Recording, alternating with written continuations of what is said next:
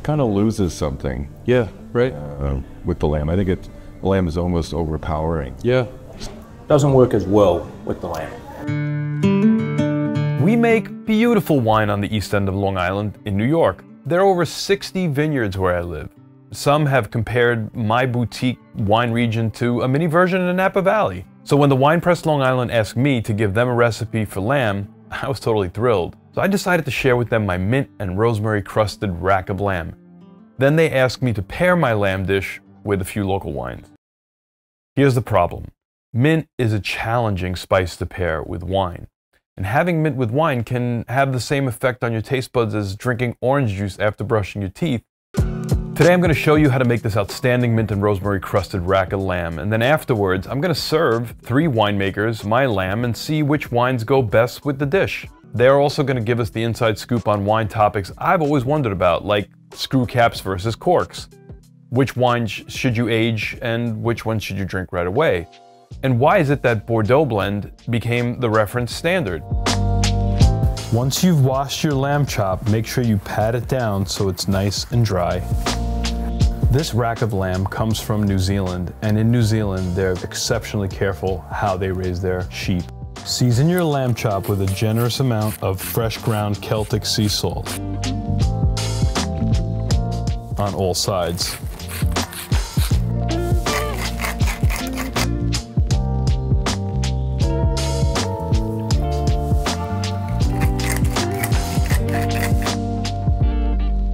In a bowl, mix three tablespoons of honey to two teaspoons of Dijon mustard. Brush it all over the lamb chops, generously.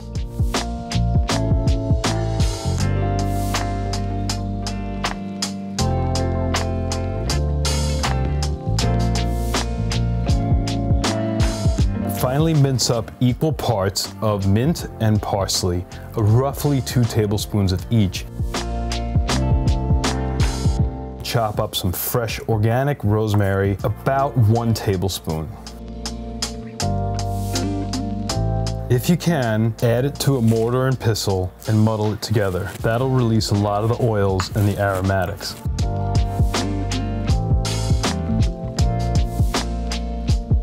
Press those beautiful muddled greens all over your lamb chops.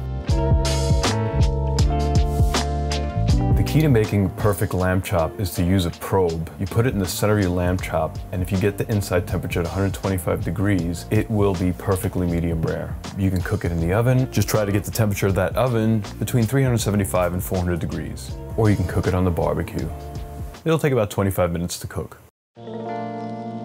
Let's see what these experts believe pairs perfectly with mint and rosemary crusted lamb chops. Meet Richard Olsen Harbich, the winemaker at Bedell Cellars. Kip and Susan Bedell planted their first grapevines here in 1980 and rooted Bedell Cellars. After finishing his plant science degree at Cornell University, Rich worked his first vintage on Long Island in 1983. Shortly thereafter, in 1986, Rich wrote the North Fork of Long Island American Viticultural Area application to the federal government and won approval for the new appellation. I don't know what that means, but it's a big deal because since the mid 1970s, when the first vines were planted here on the North Fork of Long Island, we became a recognized wine region. Now, 50 years later, we are a destination for wine enthusiasts. Rich and I are friends, and we've shared in each other's passion for food and wine. Northforker and Wine Press asked me to do a lamb dish, and they asked me to pair it with local wines. I love your wines. Thank you. Big fan forever. When I said that, yeah, I, I definitely want to pair it with a local wine, but I put mint on it. I know that your wines can stand up to the mint. We just got to figure out which ones are the best. I'm sure one of them will work. I'm not even worried about it, but I'm just curious to find out which ones. Yeah, I was thinking about this. This is like probably one of the most ancient wine pairings. If you go back in time, you know, and where wine began, and they were probably eating a lot of lamb. Yeah. Mint, I don't know. Mint, I don't know. I know that uh, uh, you want to hear a record screech. You mentioned mint at, at any, uh, you know, you know how that works. Well, but- I was just at a Greek uh, restaurant down in Fort Lauderdale a few weeks ago, and, and a friend of mine went, asked for mint jelly with lamb chops. he's like, he's like, well, Excuse me? They were very gracious about it, though, but I know what you mean. Yeah. So this is interesting that you have it on top as a as a, As a crust. a crusted herb. Yeah, I do mint and rosemary. Very interested in trying that. Why don't you pick one to start Let's with? and, try you know, with go with your. Maybe, uh, we'll go lighter to heavier. Okay, sounds good. 2020 we're a little nice. I mean, that's delicious. The alcohol isn't very high. You know, we, most of our wines are going to be less intoxicating and more refreshing than a lot of West Coast bourbons, where they may not be as food friendly in that case. Where these, there's a little edginess to them. There's a little, there's a little acidity in there. Right. Still. Do you have a temperature that you try to maintain? Yeah, I start at like 127, and then I try not to serve it for a few minutes so it hits 130. Take it out at 127. Yeah, that's what I do. Nice. Yeah. See what that'll do with the lamb when we right. serve you. I haven't used my fork yet, so It's okay. I'll put that on your plate. I'm looking forward to this. Here. I think that kind of stands up. I'm happy with that. This is a new release Cabernet Franc 2022. The 2022 vintage is probably one of the best that it's had. And it's still a baby, and so it's going to continue to get rounder and a little fuller and get better. Wow. It is so good. Cab Franc is probably more similar to Pinot than it is stylistically to Cabernet Sauvignon. It has a a problem because it has the same first name. Mm-hmm. So people expect it to be something that it's not. This is delicious. And wow, it goes incredibly Mm. well. I mean, it's really good. This is a nice pairing. The lamb is just, it's some of the best lamb I've ever had. It's so subtle and, and just juicy. It doesn't come across as overly, you know, uh, gamey that some lamb can, can become. It's love. It's just beautiful. Thank you. You're empty. Add a little bit more. Why isn't there more lamb in the U.S.? Nah, I think maybe the cattle industry has the market cornered on advertising. Yeah. You know, um, remember that when lamb introduced itself to the United States was through the immigrants, and the immigrants couldn't afford to just slaughter an, an animal after having it for less than a year. So they had to basically serve mutton, and w- which we significantly differently. Right. You have a mutton chop, you will not be as happy. Right. Very gaming. Again, this is all hypothetical. Yeah. I know in Greece, you can't get a decent piece of steak. It's tough. Right. Even in Paris, like it's hard. Like I went to Paris, and when I, I went to one of these three-star Michelin restaurants that served like the best steaks, I, I was not impressed at all. Can't knock them on the cheese, though. No. Oh. They send us all the garbage. Did you know it? and, and send the wine too, by the way. Sometimes, yeah. and one of the things I, I found, I was in Bordeaux last year, and there's a long tradition of serving um, reds with fish and seafood dishes. Yeah. White fish, especially cod.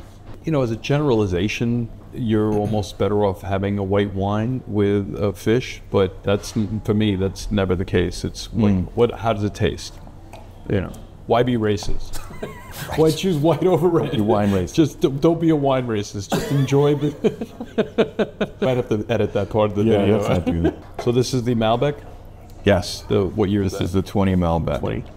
Yeah. I love the nose. This is a different animal again. Um, I believe that it extracts all the pepper notes out of both both dish and the Malbec. I liked it better by itself. It becomes like a big pepper bomb. Like all of a Yeah. sudden, all you taste Yeah, is yeah, for sure. great. I agree. So we're getting into the blend area. Taste.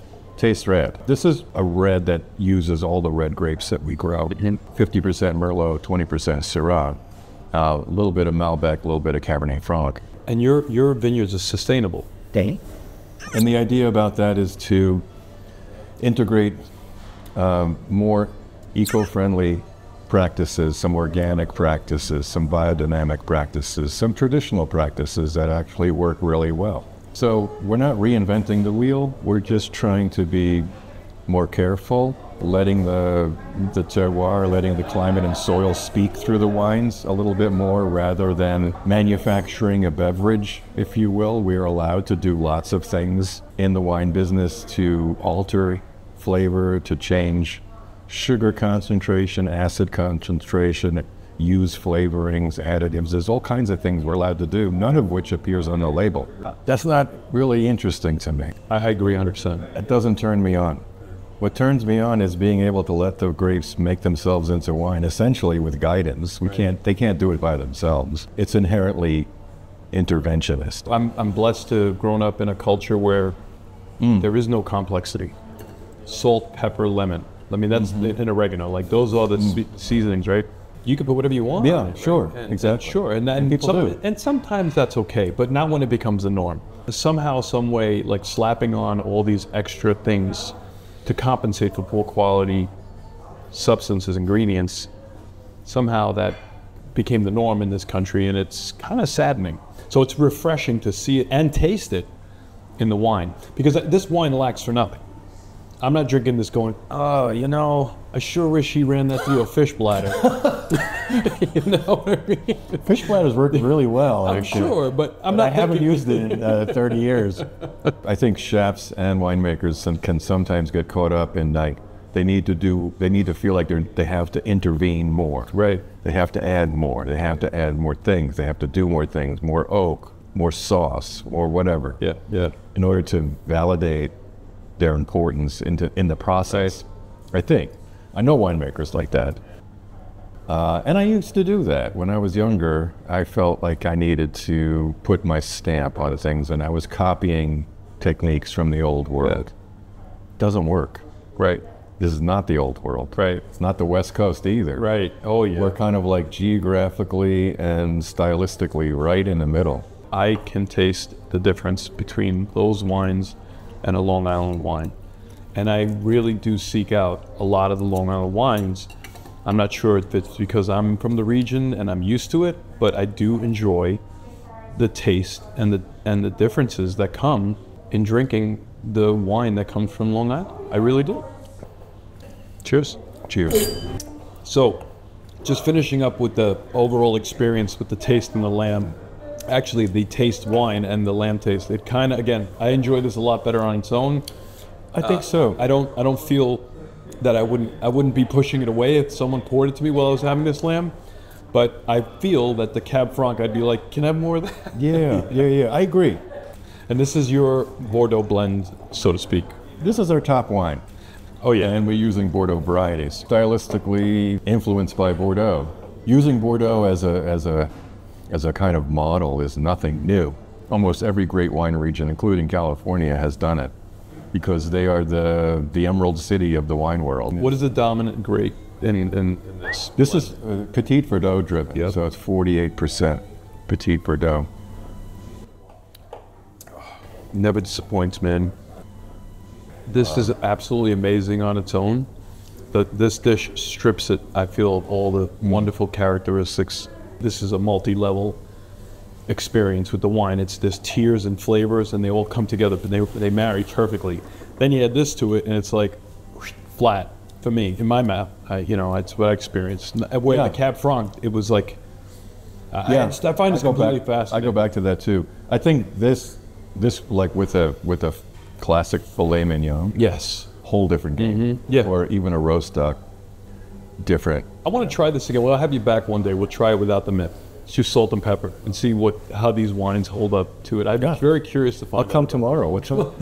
out. Sounds wonderful, man. Thank you so much. Thank you. I loved I loved having you here, man. Thank you. Delicious. Everything was great. Can I sit at this table again? you could sit at this table. Meet Russell and Susan Hearn. Russell started his career as a winemaker in Western Australia. He gained working experience in New Zealand, France, and regions across the United States. In 1990, he came to Long Island. He moved on to co-own and manage Long Island's first custom facility, Mattituck's Premier Wine Group, in 2000. Uh, recently, the Hearns purchased Lieb Cellars, where Russell has served as head winemaker since 1993. And Susan developed her passion and knowledge of wines in her 30s. In 2008, she was inspired to launch her own label, Suhru Wines, which is a combination derived from their first and last names. This is one of my signature dishes, and everybody loves it, but it's incredibly hard to pair with a decent wine. The mint causes a lot of aggravation. I had no doubt in my mind that something you created would go very well with this. I like lamb every which way. So I've had all of your wines, and I'm not trying to keep that a secret. I adore all of them. So I know these on their own are spectacular, but I've seen some funky things happen when you try to have it with the mint. No, mint's a wonderful spice, but a tough pairing spice. Which one do you want to start with? Which one you think will? And obviously, Merlot and Cab Franc are what we grow best out here, or the most of. So um, well, we, could, we could go in that order. Let's give it a shot. Okay, this is the 2020. 2020. This is the current vintage. Obviously, Long Island Reds, cool climate reds, have you know a good amount of acidity, which which carries the wine and makes them much you know very fruit fruit friendly. I think actually, you know, I think because of its age, maybe a 21 or even a 22 Merlot would be a little bit too fruit forward. Where this has got a little bit of bottle age to it, so Uh, wow, this is great. It's interesting because when I had the 19, I did not like it. I thought, and I, and I love the wine. I just want to be clear about that. 19 was a little bit cooler. Um, acid would have been a bit higher. It's one of the tough things in the modern world of wine. People want yesterday's wine. What's wrong with you, this wine? It's it's 20. It's old. I mean, I want I want something new. I mean, which is good for the winery owner because we used to be forced to you know cellar and, and, and warehouse and you know inventory for now. But I think you can just get wine out there too early. Fresh whites, yes, but reds, no. Because it's a shame when people are, you're running out of the vintage and it's just coming to its peak. So unless people have cellared it, they're never going to taste it at its And- possibly its best. Let me get new glasses and we'll try. Uh, sure, we'll try another one. And the beauty of screw caps, we don't even have to taste it ahead of time to make sure it's all fine. if you don't like it, it's the winemaker. It's not. It's not the closure. When would you prefer to use a cork over a screw cap? Sparkling wine. Sparkling wine. yeah. I mean, I, the technology of screw cap has, has continued to evolve. That you know, when it originally started, it was tin liners, so it was just fresh, fresh whites, rosés, quick to market wines. You can pick the liners now, and um, so we with, with all of our red wines, we, we pick these breathable liners, so they they do age. They do age. Yeah. Winemakers are, con- are control freaks. We can try to control, you know, what's grown out in the vineyard and yields and eh, barrel selection and you know yeast selection and e- everything, and then you give up that control when you put a cork in the bottle.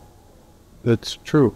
Yeah. I know with screw cap, it's it's going to be the same. Every bottle's it's going to be exactly the same. And they're doing research where they take the same wines, some under cork, some under screw cap, same vintage, put them down, and then taste them 10 years, 15 years, whatever, and see how they how they progress, how they age under different closures.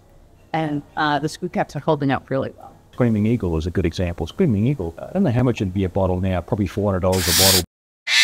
10, 15 years ago, they, it's six packs, so they had three bottles in the six pack cork, three bottles screw cap. They, they forced the customer to say, you know, what's wrong with screw cap? All right. I'm gonna just dig into this like a you know, medieval man. the more herbal um, characteristics, you know, uh, brighter fruit of, of Cab Franc doesn't work as well with the lamb, you know, with mint, you know. It's not that I don't enjoy it. There's the, the dividing wall where it's like, okay, this wine is delicious, this mint is this uh, lamb is delicious. Maybe we should live in two different. Maybe we should have two different bedrooms. If you want to elevate both, right. you want to pick the correct one Right. to go with food. And so far, the Merlot uh, over the two, I think we all agree is that's great. So Embers of Blend. Our son-in-law, who's the assistant winemaker, that's his wine. And this particular vintage, it's a blend of Merlot, Cabernet Franc, Cabernet Sauvignon, Petit Verdot, and Toronto. Teroldego. 95% of all Teroldego grapes are grown in Italy, and you managed to get some on Long Island. Like to take the credit, can't. Uh, Regan Meador planted the vineyard about 10, 12 years ago now in Southold. Spoke to the owner and sort of said, uh, you know, we'd like to lease it. And if we're going to do this, we want to, we don't want to just spot buy one year. We want to control the quality. So we've leased, you know, uh, the vineyard ever since. And as a blender, it adds that it adds a nuance without overpowering all the other components, which is what you want in a, in a blend. There's, there's a few varieties in the world that are better by themselves. You know, 100% Riesling, you know, Pinot Noir, uh, general, Chardonnay probably, you know, most other varieties, you know, whites and reds, um, aren't complete. Right. You know, they, they, they have a lot of upfront or a lot of a lot of tannin at the finish, and and so with blending, you know, you're able to just fill in the holes. I love the Ember. I think the Ember is just a beautiful bottle of wine that you can have. If it'll hold up to this lamb with mint, that would hold up to your average steak. That would hold up to any kind of red meat, I think for sure. I want to have a little bit more so I could say cheers. A little more there. Oh, I oh that was bad. Just made it. Just made it. Oh, it's a blend. It's a blend. It's a blend. It's a George blend. They, these two these two will blend well together. Uh, yeah, I, I wouldn't doubt it. Cheers. Cheers. To your health. I put together a playlist of my absolute favorite recipes right here. Check them out, and I want to know what your experience are with wine. Maybe Long Island wine, or challenging pairings that you've found to be great. Thank you for watching.